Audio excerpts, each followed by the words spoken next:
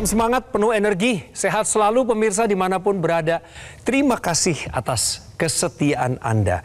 Gara-gara pemirsa nih, begitu setia, kami sudah bisa produksi program Go Healthy ini lebih dari 1.500 episode dan tetap memberikan cara tepat hidup sehat. Pemirsa, ayo gabung dengan kami di Go Healthy Community. Nanti di komunitas ini pemirsa bisa dapat informasi dan tips juga trik kesehatan dengan lebih cepat langsung kepada Anda. Cara bergabung ke Go Healthy Community ini adalah dengan memindai kode bar yang saat ini sudah mulai muncul di layar kaca Anda. Monggo silakan scan the barcode dan kita lanjutkan program ini. Pemirsa, saya Coki Sitohang akan membantu jalannya percakapan, bincang-bincang antara dua praktisi kesehatan dengan seorang narasumber. Bang Paidon, Mas Nurman, sehat semua? Sehat Mas Yogi. Sehat, bugar, semangat, bergairah. Terima kasih untuk waktunya, selamat melayani. Dan ini ada Mas Dakso, seorang anak muda yang lebih awal, lebih menyadari kesehatannya, bijaksana memilih gaya hidup. Dakso! Ya. Salam kenal Mas. Ya Bang Coki, salam Sehat kenal. ya? Wah, terima kasih, terima kasih Iya. sudah hadir sini. Usaha di bidang apa Mas? Kebetulan usaha di bidang eh, interior, Mas Coki. Interior? Iya. Desain In- interior? Desain interior sama eh, pelaksana. Jadi kita produksi furniture juga custom. Dengar-dengar orang-orang desain interior ini orang-orang yang kadang punya masalah sulit tidur atau ya saking kerja kerasnya itu sampai lupa makan, telat makan dan nggak sempat waktu olahraga. Memang kayaknya sih sebagian besar gitu Mas Coki. Makanya perlu diantisipasi ya. Iya. Pemirsa, hari ini kami kedatangan tamu anak muda, seorang pengusaha, hidupnya pasti produktif. Nah, saya kasih bocoran ini di awal kepada Anda, supaya Anda lebih kenal lagi sosok Dakso. Kami tampilkan video profilnya berikut ini. Dakso Yulianto sebagai pria muda yang sedang berjuang dalam merintis bisnis miliknya, segala hal dari waktu, tenaga, hingga pikiran ia kerahkan dengan maksimal. Tanpa disadari, kebiasaannya ini bisa berdampak pada kesehatan. Jika tidak diperhatikan dengan baik, terutama dalam hal istirahat. Dakso mengaku dulu kualitas tidurnya terasa kurang baik. Meski sudah tidur selama 6 jam, tetapi tubuhnya masih sering terasa kurang segar. Aktivitas saya terganggu karena eh, beberapa keluhan karena susah tidur atau tidurnya eh, kurang. Tak mau kondisi kesehatannya menjadi menurun, ia pun mencoba untuk memperbaiki pola hidupnya menjadi lebih sehat. Salah satunya dengan rutin menggunakan teknologi laser. Alasan saya memakai teknologi laser adalah eh, saya ingin mencegah dari eh, berbagai penyakit eh, antara lain ya hipertensi, darah tinggi, stroke, eh, gula dan juga eh, saya ingin lebih bugar lagi dalam menjalani hari-hari. Maka dari itu saya eh, menggunakan teknologi laser. Dan kini, kesehatannya sudah kian membaik. Dari kualitas tidur hingga hasil cek kesehatannya pun bagus. Produktivitas Dakso menjadi semakin meningkat. dengan adanya teknologi laser, saya bisa jadi lebih produktif lagi. Saya eh, bisa menjalani hari-hari saya dengan lebih baik. Terima kasih teknologi laser. Jadi di narasinya dibilang udah tidur masuk ke 6 jam, padahal sebenarnya masuk kualitas tidur 6 jam juga termasuk salah satu yang cukup baik lah parameternya dalam Iya. kualitas tidur. Tapi Mas dulu sering merasa itu nggak cukup katanya. Setiap bangun tidur itu eh, badan malah nggak enak gitu, tetap masih pegel-pegel. Kalau- Apalagi waktunya kita pas kunjung ke lokasi proyek langsung, itu kan masih eh, capek gitu ya. Tapi begitu memilih pakai teknologi laser, langsung ada perbedaan loh pemirsa. Iya, heeh, itu betul. koreksi tidurnya langsung berasa beda. Tidur saya ya paling eh, bisa jadi lebih awal, terus bangun juga badan Seger. Lebih enak lah. Nggak ada lagi pegel-pegel badannya. Pegel-pegel eh, lambat laun hilang sendiri. Mantap betul. Pemirsa masih ada lagi kabar baik dari Mas Dakso yang mau dibagiin. Masih ada lagi ya Mas ya? Iya. Manfaat-manfaat lain. Tapi sebelum ke sana, eh kita main benar salah yuk. Boleh, Mas? Benar salah. Makan larut malam menyebabkan sulit tidur. Menurutmu pernyataan ini benar atau salah? Justru salah ya. Salah ya? yang saya yang saya rasain sih salah Ini sebenarnya. salah. Oke. Mau tahu jawaban benernya? Iya. Tanya Bang Paidon, Bang. Kebenarannya bagaimana? Ya, pada banyak orang justru makan larut malam bisa menyebabkan su- susah tidur. Apalagi makannya itu kalau ada teman-temannya. Teman-temannya itu misalnya ada minum kopi. Ya, jadi kalau makan kan mungkin mie instan terus minum kopi. Dan kemudian ada yang sudah punya penyakit penyerta seperti masalah pada lambung ketika tidur malah jadi nggak bisa tidur karena makanannya seperti naik lagi. Jadi eh, pada banyak kasus bahwa makan larut malam bisa menyebabkan sulit tidur pernyataan yang benar.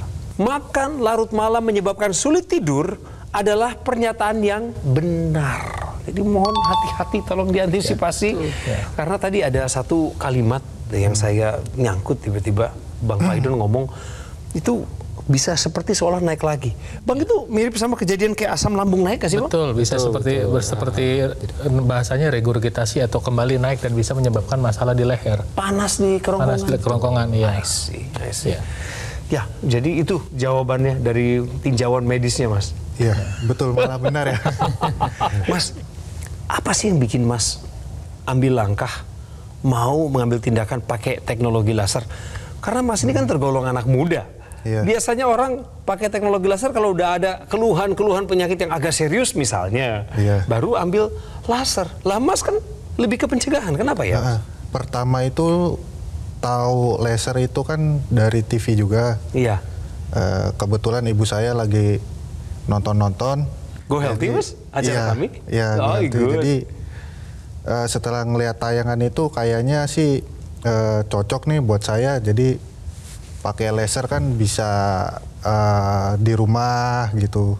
Jadi setelah sebelum berangkat kerja atau setelah pulang kerja itu bisa di saya pakai.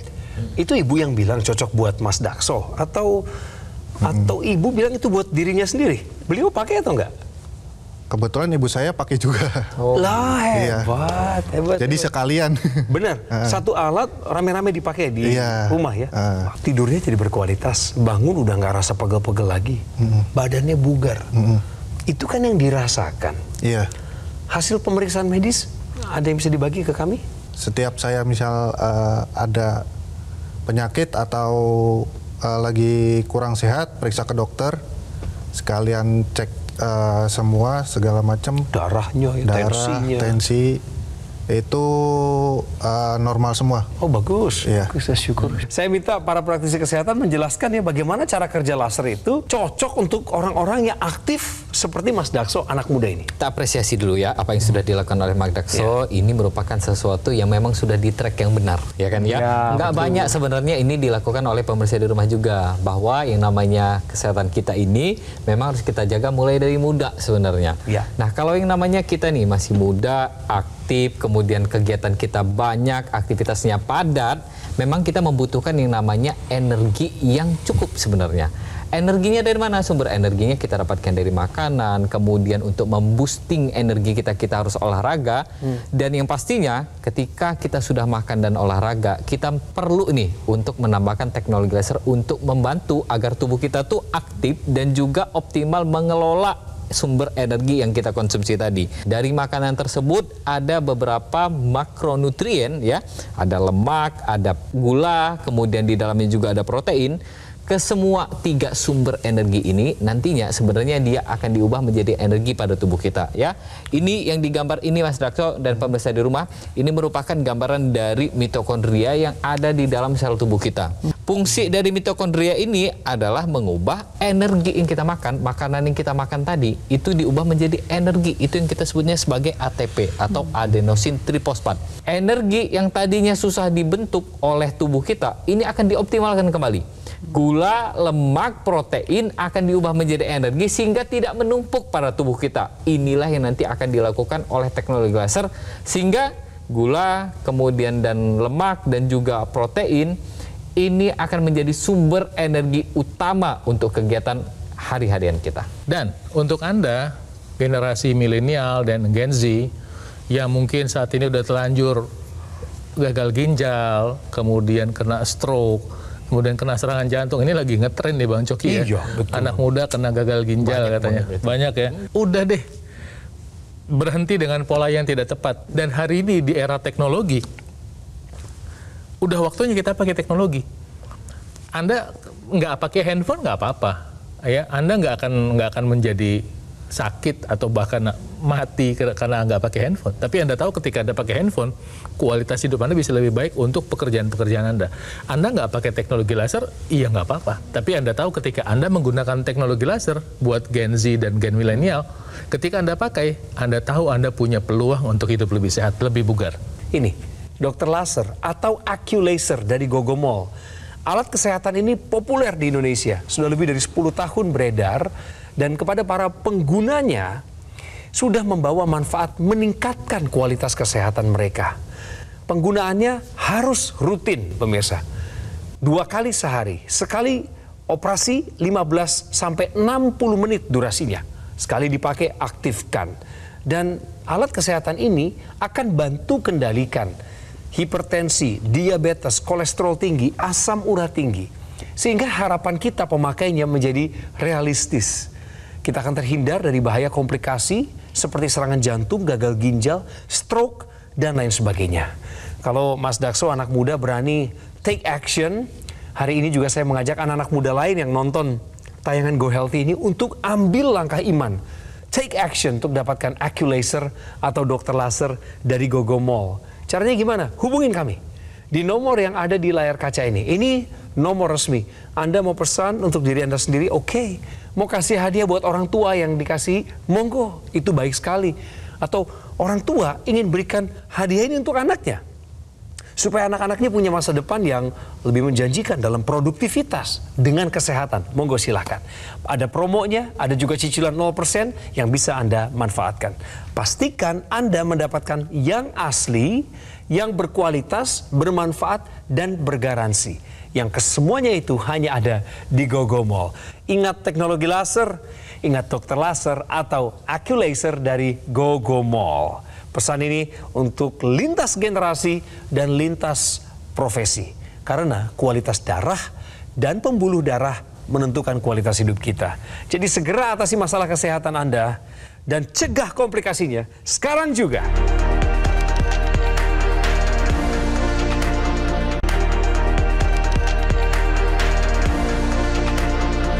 Mas Dakso ngambil teknologi laser, memilih hmm. untuk menggunakannya. Hmm. Apakah ada salah satu dari penyakit-penyakit ini yang Mas takutin? Takut ini ya apa darah tinggi, terus kolesterol, dan kebetulan dua ini uh, di keluarga saya adalah. Ada ya, ya? Papa, mama? Uh, almarhum dulu bapak uh, pernah darah tinggi juga, terus kolesterol juga uh, ada kakak saya gitu. Artinya Mas Dakso menyadari kalau Mas nggak menjaga pola hidup sehat, iya. dua hal tadi aja, hipertensi, kolesterol tinggi, iya. itu bisa mengganggu cita-cita Mas kan? Iya betul ya. Keluarga saya salah satu bukti nyata gitu, makanya penyakit itu hmm. uh, darah tinggi, kolesterol. Ada banyak gitu. Jadi ya saya menyadari itulah. Dia menyadari. Almarhum ayahnya meninggal kenapa? Uh, komplikasi Kom antara uh, jantung juga, hmm. uh, terus darah tinggi. Kalau ah. dari dokter sih, komplikasi ya. Jantung ya? Semua. ya, komplikasi. Ya. Jadi sebenarnya kalau dari ceritanya Pak uh, almarhum ayahnya Pak Dokso sendiri sebenarnya kita sudah mulai harus mulai belajar bahwa yang namanya hipertensi ini turutan belakangnya itu ada banyak ya kan ya. Hmm. Jadi kalau misalkan hipertensi ini tidak kita perbaiki dari sekarang, tidak kita turunkan, tidak kita kendalikan, hmm. maka yang namanya komplikasi ini tetap berjalan. Prosesnya itu tetap berjalan. Bagaimana cara kita memutus jangan sampai komplikasi ini terjadi pada penderita hipertensi adalah kendalikan tensinya. Cuma hmm. itu satu-satunya. Setuju. Ya? Setuju. Ya. Beliau udah merasakan manfaat yang digunakan di pergelangan tangan. Tapi masih banyak pemirsa juga teman-teman yang udah pada pakai teknologi laser melupakan baik itu sengaja maupun tidak sengaja paket intranasal yang ada di dalamnya. Sepertinya Mas Dakso harus diingetin lagi nih sama pemirsa juga nih. Silakan Bang, Mas. Ketika Anda pakai teknologi lasernya di pergelangan tangan dengan intranasal, maka Anda bisa bayangin si lasernya itu ada di rongga hidung hmm. dan dia dengan cepat mempengaruhi uh, pembuluh darah di sekitar kepala, yeah. di seluruh kepala. Anda baru lihat dari di sekitar mata, sekitar pipi, bahkan pembuluh darah yang di dalam otak. Sehingga apa? Sehingga dengan demikian aliran darah itu bisa lebih cepat untuk dioptimalkan di daerah, daerah situ. Nah, untuk Anda yang ingin mendapatkan manfaat lebih misalnya tadi Mas Dakso cerita tentang sinusitis, dia membantu ya. Ketika aliran darah di situ lebih baik, berarti apa? Proses reaksi terhadap masalah-masalah yang mengganggu saluran uh, pernafasan bisa langsung dibantu diatasi. Untuk Anda yang punya masalah dengan penglihatan, sirkulasi darah sekitar mata dibantu diatasi. Untuk Anda yang punya uh, masalah dengan vertigo, pembuluh darah yang di sekitar otak di sebelah kiri kanan di sekitar telinga ini bisa lebih cepat aliran darahnya lebih optimal bisa dibantu diatasi dan untuk masalah tidur bisa lebih cepat diatasi. Nah ceritanya kalau misalkan seseorang ini sudah mengalami namanya hipertensi maka biasanya hipertensi ini akan merusak kualitas pembuluh darah kita. Pembuluh darah kita ibaratnya gini kalau ada sesuatu yang kencang larinya ketika dia menyenggol sesuatu, maka sesuatu ini dia akan lecet. Sama, pembuluh darah kita juga begitu. Ketika tensi kita tinggi dan dia akan menekan dinding pembuluh darah kita, dinding pembuluh darah kita itu akan mengalami yang namanya perlukaan. Perlukaan inilah yang nantinya menjadi cikal bakal terbentuknya plak aterosklerosis atau plak pada pembuluh darah. Kurang lebih gambarannya kayak gitu, Mas Rakso dan pemirsa di rumah. Kalau misalkan mau tahu ya, plak pembuluh darah ini sebenarnya dia kita nggak bisa rasakan, ya kan ya. Tapi meskipun tidak bisa kita rasakan, efek pada tubuh kita itu tetap berjalan. Tapi kalau misalkan nih, makin banyak lagi nih sumbatan pembuluh darahnya, bisa jadi dia 70%, 80%, maka yang biasanya dirasakan orang adalah adanya rasa sesak pada tubuhnya ya. Kalau di jantung rasa sesak di jantung, kalau dia ada sumbatan di kepala dia biasanya sering sakit kepala.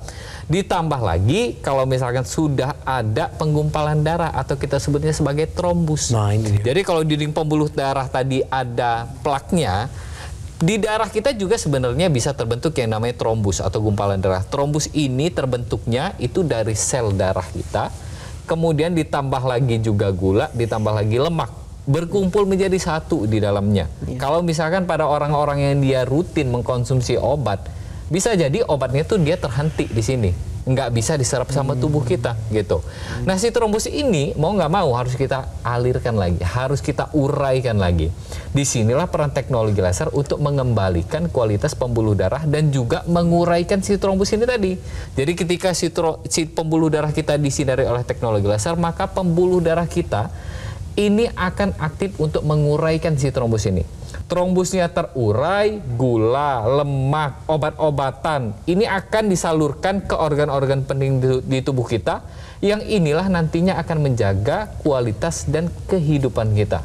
Selain itu apa lagi? Teknologi laser inilah yang nanti akan membantu tubuh kita untuk lebih aktif menggunakan energi, energi kita jadi lebih optimal. Dan sekarang kami ingin pancarkan lagi pengetahuan untuk Anda. Di Tahukah Anda? Ini dia. Tips mencegah dan mengurangi risiko terjadinya hipertensi. Bisa dicegah? Bisa dong. Bisa dikurangi gitu. juga, Mas Bisa. Berarti kalau kita berbicara tentang yang namanya mencegah dan eh, mengurangi resiko dari hipertensi, berarti ada beberapa hal yang harus kita koreksi. Mulai dari kita olahraga. Olahraga yang seperti apakah yang bisa mencegah hipertensi? Kita olahraganya ini harus minimal 30 menit dalam satu hari gitu. Dan minimal ini 5 sampai 6 kali dalam satu minggu. Ingat ya, nggak bisa dalam satu minggu cuma satu kali gitu ya. Kemudian apa lagi? Ya, kurangi konsumsi makanan-makanan yang tinggi akan garam. Biasanya di dalamnya terdapat sodium atau natrium ya. Garam ini sendiri ini jangan dibayangkan sesuatu yang asin aja enggak. Karena kadang-kadang sesuatu makanan ini dia mengandung garam tapi tidak asin di dalamnya gitu. Hati-hati dengan garam tersembunyi. Kemudian apalagi yang harus kita lakukan? Tidur kurang lebih 7 sampai 8 jam dalam satu hari dengan kualitas yang bagus juga, jam tidur yang teratur juga. Dan yang perlu kita ingat bahwa mengelola stres dengan baik ini penting sekali untuk menjaga kesehatan tubuh kita terutama kesehatan tekanan darah kita. Kemudian tidak lupa kalau yang namanya pola hidup yang sehat ini harus dibarengi dengan yang namanya konsumsi zat gizi yang baik untuk kesehatan kita. Zat gizi yang bisa mencegah dan juga bisa mengurangi faktor risiko terjadinya hipertensi itu antara lain kita bisa dapatkan yang namanya magnesium ya. Kemudian ada selenium. Belum lagi kita membutuhkan yang namanya antioksidan. Antioksidannya apa saja? Ada antioksidan yang sebut kita sebut sebagai resveratrol, inositol, kemudian ekstrak dari jeruk, ya ekstrak dari uh, kulit pinus juga ada gitu. Dari kesemua mikronutrien yang kita butuhkan ini, inilah yang nanti akan memenuhi kebutuhan zat gizi pada tubuh kita untuk mencegah dan mengurangi faktor risiko terhadap yang namanya hipertensi. Dengan semua yang kita lakukan, maka kita akan menjadi lebih sehat. Hipertensi udah jauh-jauh dari hidup kita. Nah itu sebabnya salah satu yang disarankan adalah menggunakan suplementasi yang kaya akan antioksidan plus ada multivitamin multimineral lengkap. Jadi nutriennya itu Ya, vitaminnya lengkap, mineralnya lengkap eh, seperti tadi disampaikan sama eh, Bang Nurman dan kemudian juga kalau bisa ini si suplemen ini yang natural yang daya larutnya itu penyerapannya bagus. Jangan kita misalnya asumsi pakai angka nih. Kita minum suplemen 100 satuan yang masuk ke badan kita cuma 20 persen. 80% kebuang lewat air seni kan berarti kita buang-buang uang Betul. ya kalau bisa yang kelarutannya mendekati 100%. Kedua, yang kita konsumsi itu bahan yang aman. Ada loh bahan yang katanya alami tapi ternyata bisa bersifat toksik bagi tubuh kita. Belum lagi ada yang namanya pencemar. Karena itu kita harus eh, memilih suplementasi yang bebas dari bahan kimia berbahaya dan bebas dari pencemar. Dari mana kita tahu? Nah, suplementasi ini harus lewat Badan POM. POM. Karena kita nggak punya kompetensi untuk ngecek itu. Badan POM yang punya Ada kompetensi. sertifikasinya Ada lagi. sertifikasinya. Suplementasi yang ada di dalam satu botol tadi namanya adalah Evolife AS10.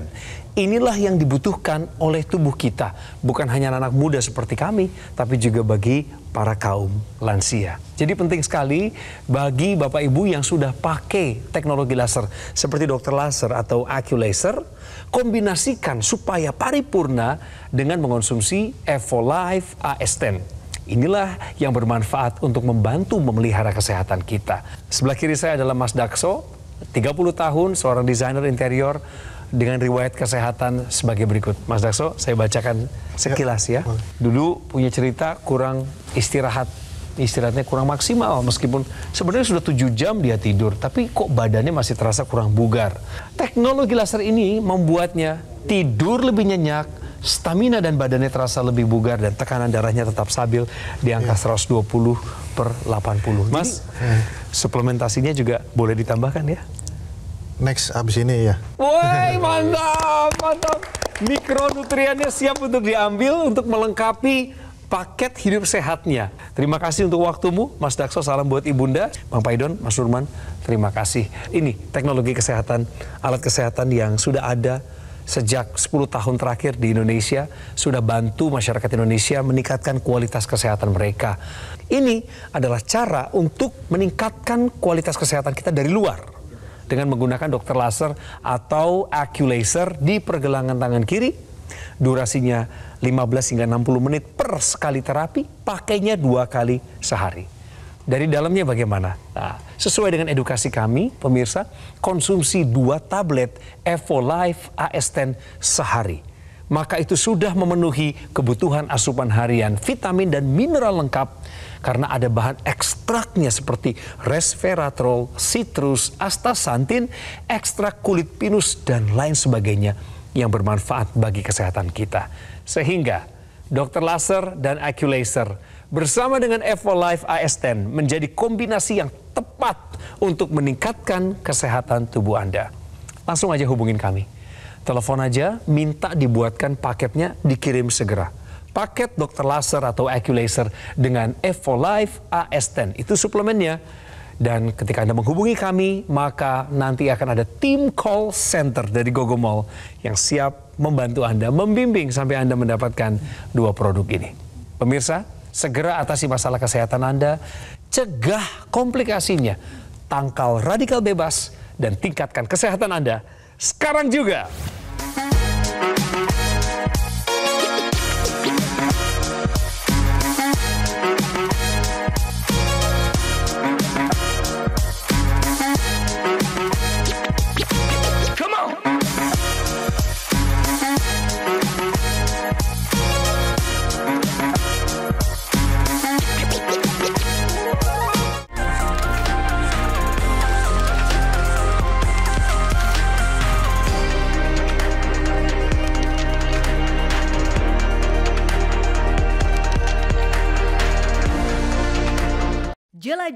Cara baru mendapatkan informasi. Download Metro TV Extend sekarang.